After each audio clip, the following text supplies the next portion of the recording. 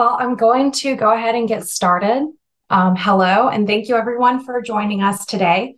My name is Catherine Hershey. I'm a member of the Illuminating Engineering Society, and I'm also the Vice President of the IES Raleigh section.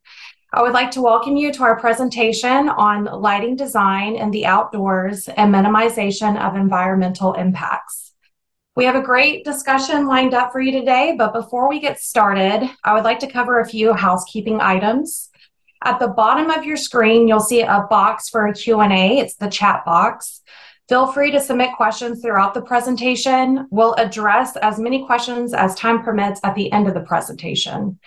Also, if you would like to receive a certificate for attending the presentation today, make sure you go to the chat box, download the two forms, and then send to the corresponding email on the form. Lastly, our presentations are all recorded and archived on our YouTube channel, which I have posted in our chat box. So you'll be able to view this presentation again or recommend it to others. And today we're happy to welcome Angela Saladino with Landscape Forms. Landscape Forms is the industry leader for over 50 years in integrated solutions of high design site furniture, advanced LED lighting, structure, and custom environments. Angela is the lighting regional sales representative in the Southeast for Landscape Forms. She has been in the lighting industry for 17 years. In her role with Landscape Forms, she collaborates with clients, landscape form business development representatives, and lighting agencies to provide them with lighting and support services. Angela has worked for lighting manufacturers, distribution, and assisting with the implementation of utility rebate programs for small businesses. Prior to joining Landscape Forms, Angela worked for a lighting distributor where she was involved with all aspects of her projects from product selection and photometrics to assisting electricians and owners on site. Angela currently lives in Charlotte, North Carolina. She graduated from Appalachian State University with a degree in graphic arts. And fun facts about her when she's not working, she spends time with her two dogs mountain biking, and she's currently working towards becoming a certified animal aromatherapist. And furthermore, Angela, please take it away. Thank you. Um, I see a lot of familiar names on this call, so I just want to say hi to everybody. It's great to see you on here. Um, I am going to, so everybody can still see my screen, I believe. Um, so again, thank you for being here for this presentation, uh, Lighting Design in the Outdoors and Minimization of Environmental Impact CEU. It is registered with the AIA and the LACES, um, and we will adhere to their best practices. Um, so jumping into our goals, I believe most of you are probably familiar with the, with the IES Lighting Library Standards Collection which is made up of lighting applications, lighting measurements, lighting science, and lighting practices. And the LPs um, bridge the material by translating science and engineering into best practices. And today we're going to be focusing on the curriculum um, from IES LP 220, so Lighting Practice 220, which is designing quality lighting for people in outdoor environments. And that centers on design elements um, of the outdoor space and the context and hierarchy of the lighting in the nighttime environment. And it really puts the pedestrian first. Um, we're all very familiar with the RPs out there that focus more on vehicles. So today we're going to be focusing on the pedestrian in the outdoor space. And we also will be referencing Illuminance criteria charts from RP 4322. So um, jumping into objectives and just a quick side note, I have two dogs in my office and they should be quiet, but if you hear any noises, that would be them. Uh, so our objectives. First, understanding the context of pedestrian spaces and how that helps to determine a designer's approach to lighting those spaces. Understanding the hierarchy of design elements to consider when lighting outdoor spaces for people understanding what sky glow and light trespass are and how it, they impact mm-hmm. the environment being lit, understand what light zones and land zones are and how they can be used in absence of lighting ordinances, and defining each of the lighting zones and the amount of light that should be used within each setting. So going into the first objective, lighting and defining pedestrian spaces. Um, so let's think about the visual experience within the outdoor space. Appropriate lighting design uh, for pedestrians at nighttime places a priority on how people see at night and the tasks that they need to perform without overlighting the space. So an example of this would be uh, designing lighting to navigate a space and avoid hazards as comparison to a lighting design for social interaction, inter interaction and enjoyment. And how do we achieve this without turning nighttime into daytime and not overlighting? So we really want to think beyond illuminance um, and think about how the human will interact with the contrast, the, the visual field, um, the fixture locations, the glare ratings, the color, not only the color temperature of the light fixtures, but also the color of the finishes in, within the space. So if we look at this image here, we can see that um, probably the main task at hand would be wayfinding and getting to this building in the background here. So the this building is, is the focal point and there's a high amount of light within that building. So to balance that out, um, they went with um, what looked to be dark sky rated fixtures with specific distribution types to focus the lighting down on the pathway and provide um, balanced illuminance um, for people to have easy wayfinding and be confident on their way to the building. Um, so you really want to think about taking the comprehensive approach, which we will discuss more on the next slide. Um, so getting into the comprehensive approach and thinking beyond just illuminance. Um, so we have illuminance, reassurance, luminance, and visibility. Um, illuminance, which we're all familiar with, is the measurement of light upon the area of a surface. And how something to keep in mind is that the eye sees luminance, um, which is light reflected from a surface. Um, and then we have reassurance, which is the action of removing somebody's doubts or fears within a space, and visibility, which is the quality or state of being perceivable by the eye. So, how do all of these overlap and interact? Let's think about a residential community um, within a um, wooded or, or mountain mountain mountain community up in the um, maybe Boone or Asheville. So if you think about the community's goals, they would probably be primarily focused on using the minimum um, suggested light levels for that lighting zone to help with protecting the fauna and the flora in the in the area and really keeping that nighttime environment um, what as it should be in the natural environment. So they would go with lower light levels or lower luminance, which would then impact um, visibility and reassurance. Um, however, those two items might not be as a higher priority for them as compared to an urban environment or an urban district where they would have elevated illuminance, vertical and horizontal. And it would be important to focus on the thoughtful management of luminance and the uh, reflectance values and the, the materials being used to establish a coherency of the surroundings, which would aid in visibility and reassurance um, within the space. So looking at this slide here, which shows an example of a more um, busy entertainment um, retail space, um, which we're getting into these um, more and more, and they're going to be involved more with outdoor spaces versus um, interior malls, which we're more familiar with. Um, and really thinking about, the, again, the pedestrians, the task at hand, and um, not overlighting, definitely using uh, layers of light um, to um, address each um, application within the uh, vicinity. So looking at this image, they have gone with fairly low illuminance uh, balanced light levels on the ground for, the, for easy wayfinding. And then we have higher light levels within the retail windows for more eye catching. So the pedestrians are walking by, they look into the retail windows. And then that's balanced out with some sparkle and decorative lighting with the string lights and the wall sconces. Another important part of the comprehensive approach is thinking about glare um, and how to prevent glare. Um, and the reason being the presence of glare in an outdoor pedestrian space erodes the visual interpretation of the environment and makes it uncomfortable for the pedestrian. So the goal is for the pedestrian to enjoy the space um, without having to consider where the light is coming from and potentially have to avoid the light source. So we have two main types of glare. We have discomfort glare, which is pretty much what it sounds like. It's uncomfortable and distracting, but it may not reduce visibility.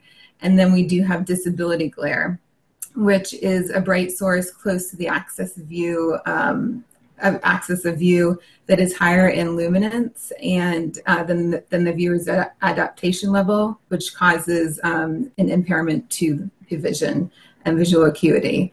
So how do we um, reduce or avoid glare? Think about the size of the lighting equipment, the position, um, where the light source is going to be in relation to the pedestrian, um, and the luminous intensity at each angle. So looking at the glare rating of the fixture, which can be found on the manufacturer's data sheet, um, mounting heights, um, and again, relating that to the angles uh, or the, the viewer where the pedestrians will be located and uh, viewing the light source. Um, and then the luminance, learning more about the materials and surfaces being used in the space to help with um, the light reflecting from shiny surfaces and potentially causing glare. And if we look at this image here, we can see that this light source on the left has um, no shielding and the light is just kind of being thrown all over the place and not where it needs to go versus the fixture on the right has a more focus and um, specific distribution aiming the light down on the ground where it needs to go. I feel like every lighting manufacturer has this slide in their presentation deck, so I don't want to be left out. Um, but this is a slide showing an example of disability glare. Um, as you can see, or can't see this person in the background here. You can't tell if they're your neighbor or somebody coming to attack you. Um, and then this slide is showing um, where somebody just did a DIY glare shield by putting their hand up. Um, and now you can see that it is Milton from Office Space coming to get his stapler. So hopefully he's just going to be friendly about that.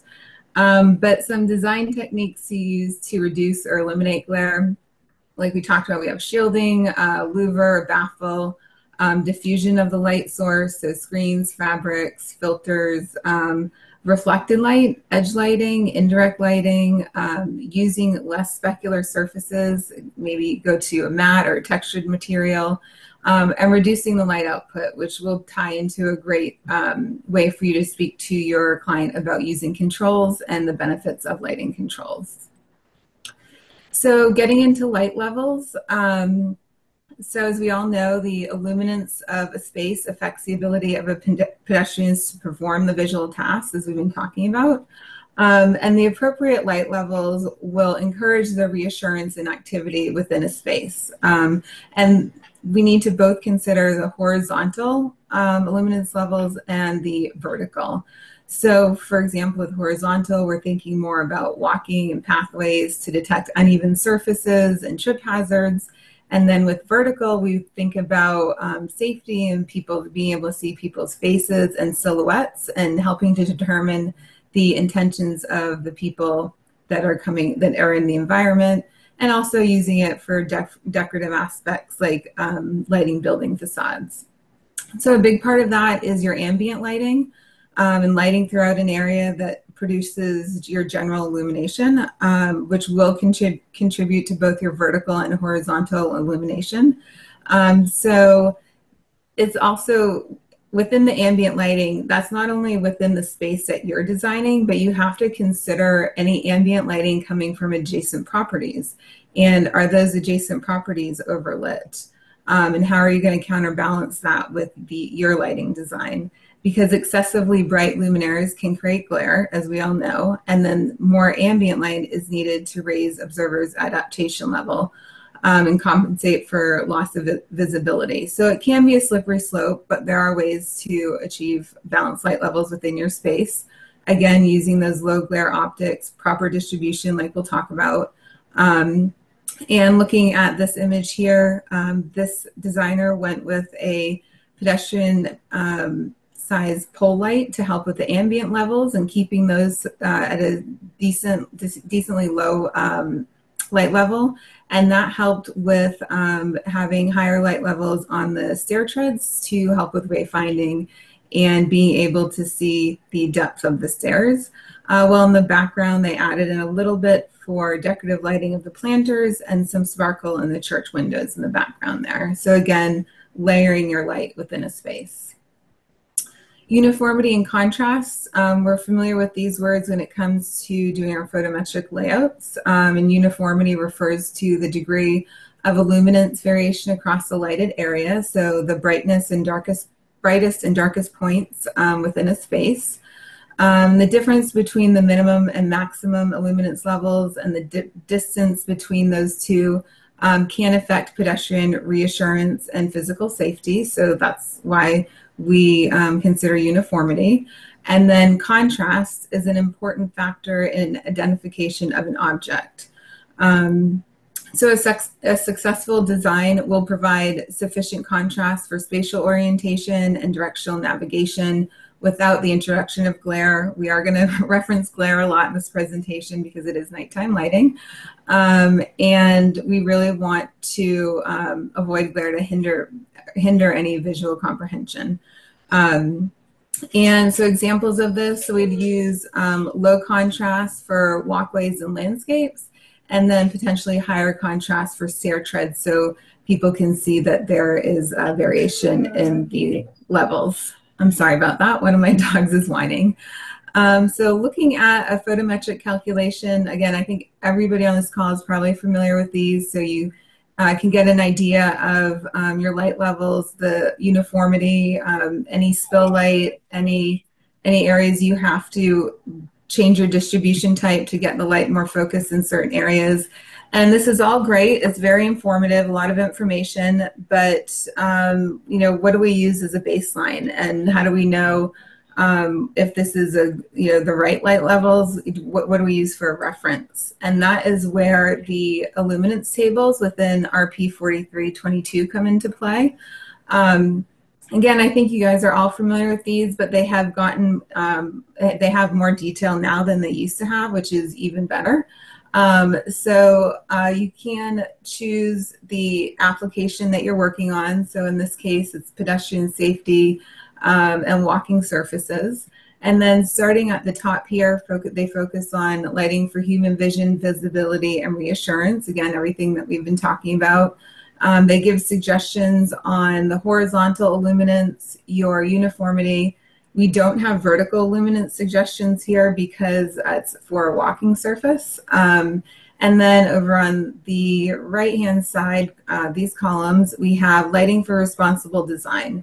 And that's going to get into your glare ratings, your uplight ratings, um, which we'll talk about those in more detail soon, and then your controls. And I always like to say that this is a great reference when you are speaking to a client or customer about utilizing lighting controls and it's just a tool that you can have in your tool belt to help explain to them the benefit of controls, not only the longevity of the fixtures, but helping the environment and the people within the space. Um, another important uh, reference are the accept is the acceptable short length short wavelength content, and this um, applies references the amount of blue content within a light source. So a couple examples here, we have VL, which would be for a light source that is less than or equal to 2000. We have L, which is a light source that is less than or equal to 2400 K. And then we have M, which is less than or equal to 3000 K. And for this to make more sense, we would reference our lighting zones, which we're going to talk about more um, in a few slides also. Um, and that will help you tie it all together is looking at your lighting zone and then just scrolling across here to the right to determine um, which would be best, the best fit for the application. Um, color of light, again, very common terms we're probably all familiar with. We have the correlated color temperature, um, which describes the appearance of near white light on the absolute temperature scale uh, measured in Kelvin. So warm white, cool white, 2700 K up to 5000 K.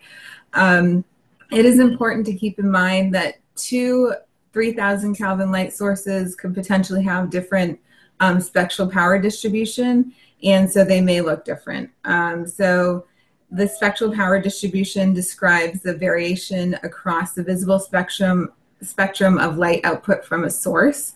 So what you could do here is ask the manufacturer. Um, so for example, if we're using two different fixtures from, but they're both 3000K, um, maybe ask each of the manufacturers for a spectral power distribution chart to see if maybe one light source is going to have more green, um, the other one might have more red, um, and how off they will be if they're going to be next to each other. then we have CRI, which describes the average appearance um, of a small sample standard of colored surfaces when lit by a reference light source and it goes up to 100, um, which indicates that the colors are identical. Um, so the color, how well uh, light source renders the colors that it is lighting.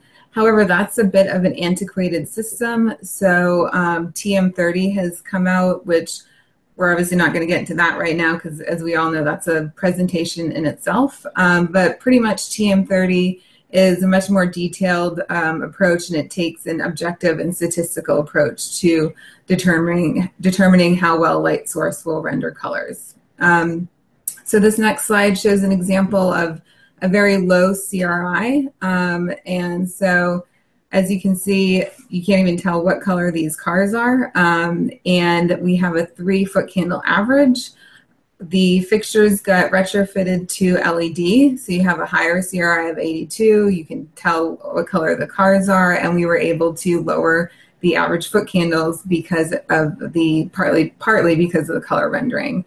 Uh, we have a picture of an eyeball floating up here in the right hand corner um, to touch on rods and cones. Um, so um, the rods in your eye are a bit more sensitive. They they perk up at nighttime, as you could say, um, and they are a bit more sensitive to whiter color temperatures. Um, is something to keep in mind. And then your um, cones are more sensitive as uh, more sensitive to the longer wavelengths, like like your red um, light sources. Um, so going into the context of pedestrian spaces and thinking also now about the architecture and the um, flow of the space um, and how that can tie into um, what type of light source you're going to use, the color temperature, you know, how is the space going to be used from day to night? Are there any areas within the space that could potentially become really dark at night that have plenty of light during the day? Um, how will the color temperature, um, what kind of color temperature will be needed? In, in this picture here, they have brick and wood, so maybe you want to go more towards the warmer color temperatures. Um, and again, what will the people be doing within the space? Um, going into the hierarchy of design and lighting the pedestrian spaces. Um, so lighting design should uh, respect and relate to the principles and ideas um, and the intended hierarchical relationships within the, in, within the visual environment to assist with information giving value. Um, and kind of asking yourselves questions which such as you know what elements are, are most relevant for estab- establishing spatial comprehension and reinforcing the intended use of the space how should the composition of objects and their surfaces be illuminated in order to portray intended hierarchical relationships um, so looking at this fixture here the exterior hierarchy highlights the landscape entrance and the natural facade materials and provides a visual connection with the adjacent park and the bike trails. Um, designing for outdoor pedestrian spaces. Um, so tying that in with the hierarchy and considerations of attracting pedestrians to the outdoor space. Again, asking key questions, which can be found in LP 220, but this this kind of this version of the hierarchy thinks about the people and the community goals. What are their goals? Um, what lighting zones is this project going to be in? Um, what elements are the most important to light within the space?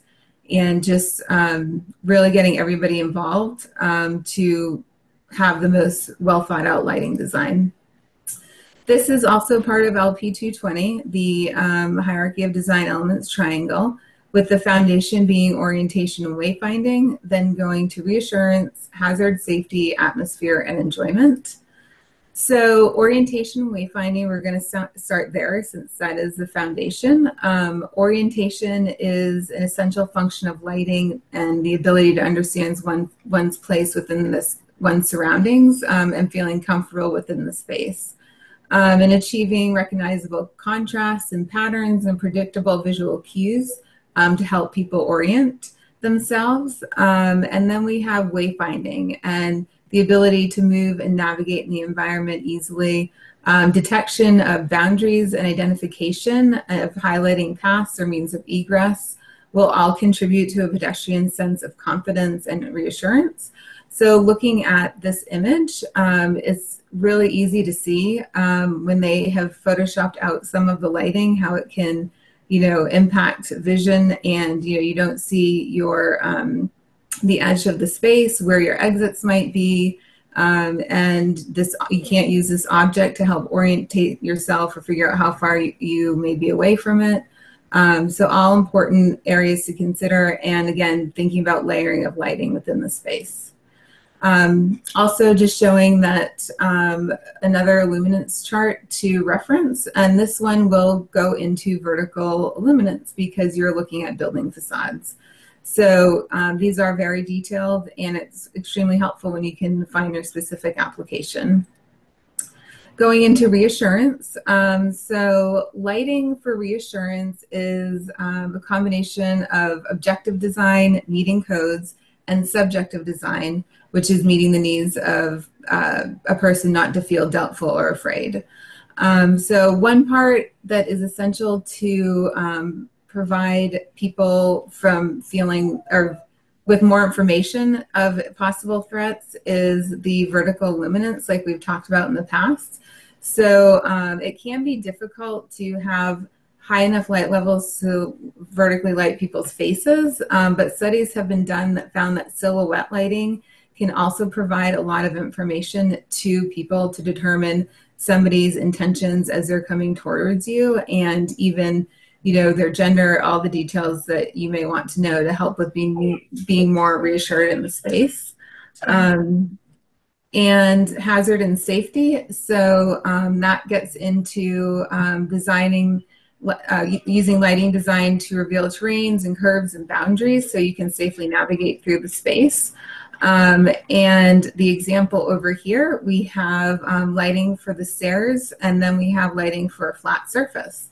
So as you can see, the lighting on the flat surface is, is um, more balanced and even versus on the stairs, you have a little bit more variation to show the height difference in the stair treads. And it gives the pedestrian the, the um, option to choose which path would be best for them. Um, so this is another luminance chart just showing also they have it for atmosphere and enjoyment. So um, they do get very detailed in the applications. Um, so jumping into thoughtful lighting um, in the environment. Um, so we've probably all heard the term light pollution by now. It is a broad term that encompasses um, all the adverse and obtrusive effects from electric light. Um, although electric light has been important in the development of our society, we really need to start thinking about how it's impacting um, the fauna and flora that's surrounding us. Um, so let's talk more about light trespass and sky glow.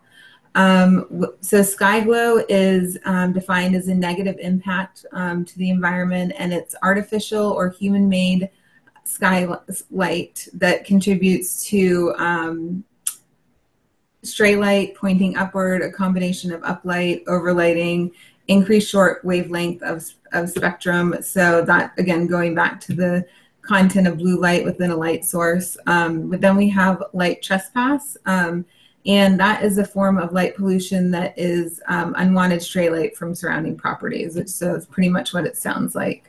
Um, I've heard somebody say once that um, humans can close our blinds, but animals can't. Um, so it just kind of makes you really think about that and how it can impact the animals. We've probably also all heard about the turtles. And somebody brought up something interesting the other day about how, with the climate changes, they're starting to hear about the turtles migrating up the coast. Um, so we're going to have to think about turtle proper turtle lighting um, even in more areas than we have in the past. Um, so impacts of sky glow and light trespass, we have increased energy consumption, which ties into overlighting, um, disrupting the ecosystem and wildlife, which you just touched on, um, harming human health with pertains to circadian rhythm and having too much of that blue content in our light sources used for outdoor lighting, um, affecting crime and safety. Um, so that could apply where people tend to think that if they just throw a bunch of light in an area, it's going to deter people from um, doing anything bad. I heard a story about a city that did that, and the police never went to that area to patrol it because it was just had a bunch of light there. And it turns out that the crime went up. Um, so it's again thinking about the comprehensive approach and everything that's going into the space. We also have um, the Bortle scale as a way to measure the impacts of sky glow and light trespass. And Johnny Bortle created the scale back in 2001 to help with amateur astronomers to compare the darkness of the skies they were observing. And it starts at one and goes up to about nine. Um, so it's really interesting scale to look at. I thought I had pretty clear clear skies here in Charlotte. Um, come to find out, I'm probably at a five. Um, and I've heard that in a one, you can actually see your shadow from the from how bright just the stars are. So I hope to check that out one of these days. Um, and then we have distribution types. Um, so why do we care about that? Again, that is in reference to putting light where it needs to go and um, avoiding light trespass. Um, so for example, if you are doing um, pathway or walkway lighting, maybe you want to use more of the type 1 or type 2 instead of a type 5 and the light just spilling all over the place and going in areas where you don't need it. Um, then we have bug rating. So RP-20 uses the glare part of the backlight uplight um, glare, glare bug rating system. And um, the glare rating is um, defines distribution of light emitted from a single luminaire within 10 defined zones, as you can see here. Um, for lighting equipment mounted above eye height, it is often the light found in the range of 60 to 90 degrees above nadir that enters into the pedestrian's field of view against the darkness of the night. Um, here we just have a couple slides here showing a more detailed um, view of the backlight rating. Uh, then we have the uplight rating so you can see the angles that it's measured in and then how they come up with the uplight rating um, and then glare. So glare they actually get pretty detailed and do look at the different distribution types of the fixture. Um, and then um, just touching on the bug rating and light pollution. So we're all probably have heard about dark sky. So that's putting all the light down below the fixture, below 90 degrees. And this is a really interesting slide showing that um, how bad light pollution is getting. Um, and just really emphasizes, you know, again, focusing on your glare rating, focusing on your distribution, using lights with low blue content. Um, okay, getting into lighting and land use zones. Um, so we're probably all very familiar with um, land use zones. Um, zoning has been around for a while and it's a well-established practice in community planning. Um, so the fundamental idea behind zoning is that it allows the community to determine and regulate appropriate use of different areas within the jurisdiction.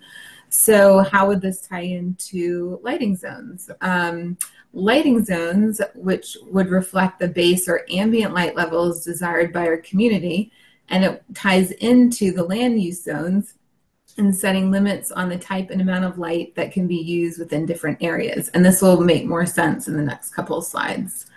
Um, so determining site-specific light trespass levels. Um, if a lighting ordinance is not in place um, in the area that you're designing in, or if it's vague, um, you will still typically be able to find a land use zone um, reference. Uh, and it should have been assigned by the city or the town. Um, so then you could reference your lighting zone criteria and see how it ties in. So if it's a, a retail um, or a multifamily or um, a residential application, or if it's been zoned as such, then you could see which lighting zone would tie into that. And again, we're going to get into more detail on that right now. So talking about lighting zones. Um, so we have the LZ1, it goes up to LZ4. Um, but LZ1, you have no ambient light options here. It's um, think uh, wilderness parks and preserves, um, astronomical observatories, anywhere where um, protection of a dark environment is critical, um, you will not have any options for lighting. Then we have lighting zone one, which is low ambient lighting, and it applies to developed areas within a natural environment and areas of human activity that are inherently dark at night. So if you remember us talking about that mountain community, that would probably be an LZ1. So you're going to have those lower light levels um, because you have minimal um, activity at night, and they're really still focusing on trying to keep that outdoor space intact. Um, so think about these areas as single family, um, two family residential communities, potentially rural town centers, rural business parks, um, and other commercial industrial storage areas with limited, limited nighttime activity. Um, and like we talked about before, your um, illuminance criteria charts will have your lighting zones reference.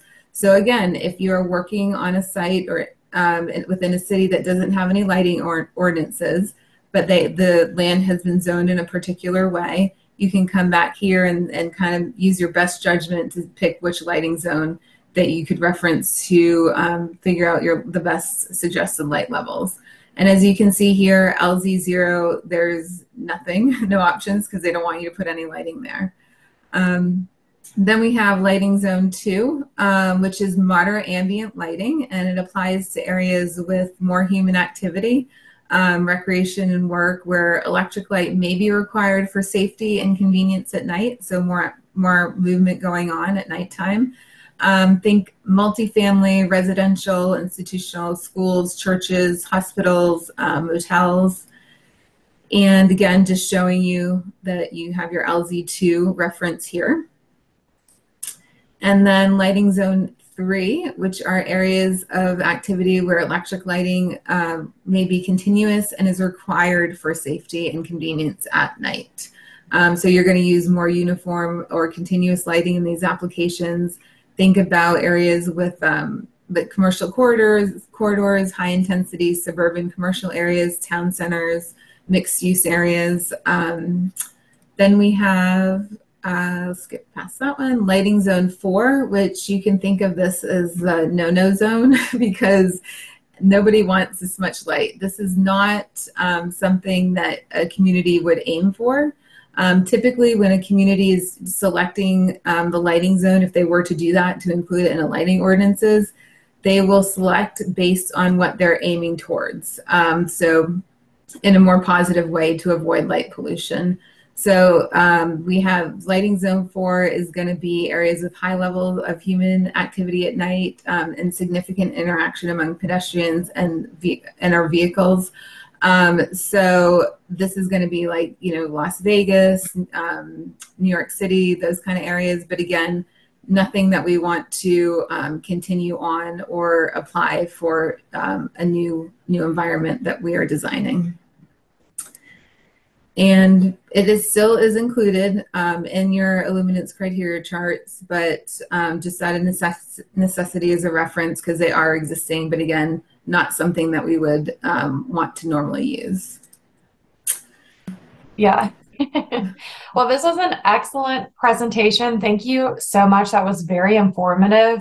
Um, I specifically enjoyed when you talked about the spectral power distribution for the color of lights um, and talking about making sure that your manufacturers are, are within that you know color graph and if the colors are going to match um, and even the bug rating uh, breakdown was super helpful for me. Um, I do want to remind everyone if you do have a question um, at this time, you can add it to the chat box. I don't see any questions currently.